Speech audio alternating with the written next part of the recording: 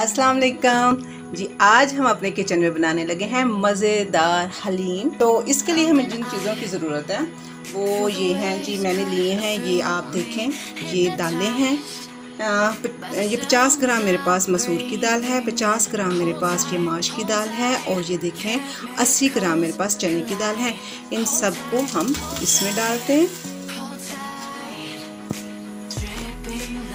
जी, ये मेरे पास है 50 ग्राम मूंग की दाल है और चावल भी 50 ग्राम है। इनको भी इसमें डालते हैं और इन तमाम दालों को मैं अभी साफ़ पानी से धो के सारी रात के लिए इसे ओवरनाइट छोड़ दूँगी। जी, ये मेरे पास है। ये एक कप गंदम और ये डेढ़ कप मैंने ये ली है गंदम और ये जो है, जो एक कप है।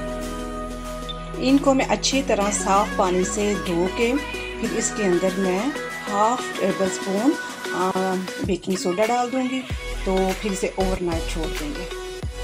जी, ये अब मैंने अच्छे पानी से इनको धो लिया है वॉश कर लिया। अब इसके अंदर मैं ये हाफ़ टी स्पून जो है मीठा सोडा ये ऐड करूँगी और सारी रात इनको मैं छोड़ दूँगी। खुले पानी इसी तरह पानी में डूबी रहेंगी और ताकि सुबह फिर हमने अच्छी तरह गला लें।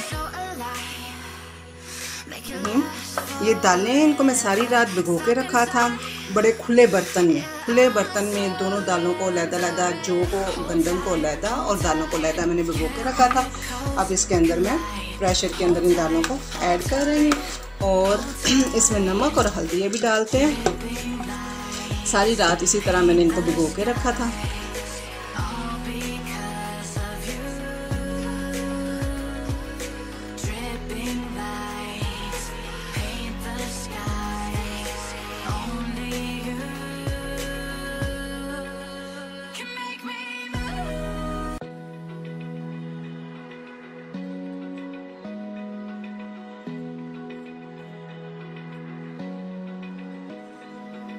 open eye.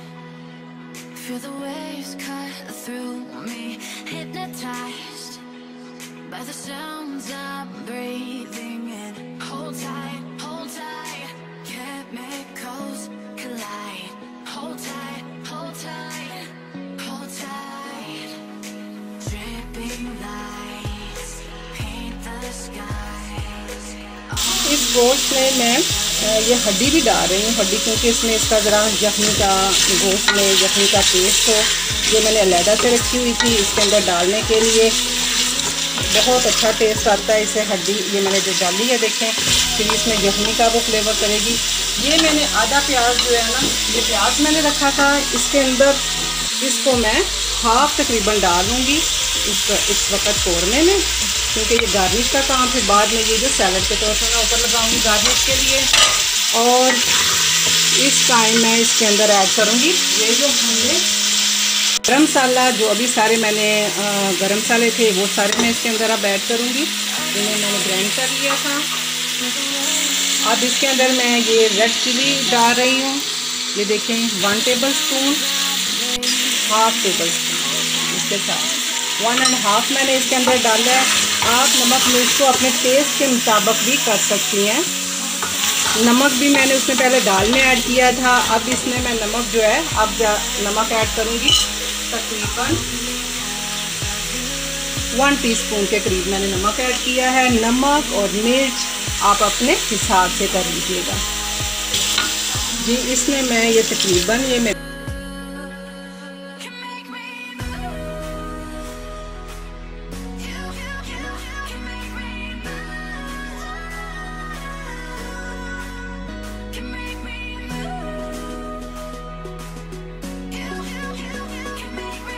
मैं बाद जब दालें पक रही हो ना तो उसमें आपने कभी ठंडा पानी ऐड नहीं करना। आप जब भी पानी ऐड करेंगी ना, कभी भी कोई भी दाल आप खाते हो तो आपने गर्म पानी ऐड करना है। उससे क्या होता है, उससे दाल जो है, वो फ़ौरन गल जाती है। अब मैं इसे इस तरह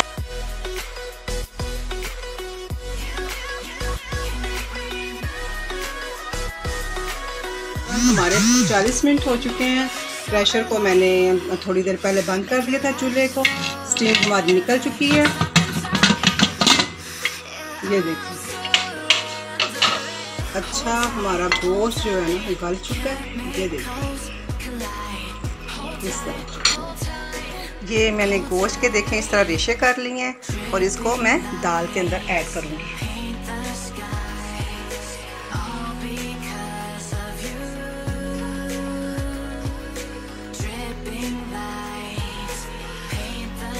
जी, अब मैं इसको डिश आउट कर रही हूँ। देखते हैं हमारी हलीम इसकी कंसिस्टेंसी देखें यही बस मुझे इसका लुक चाहिए।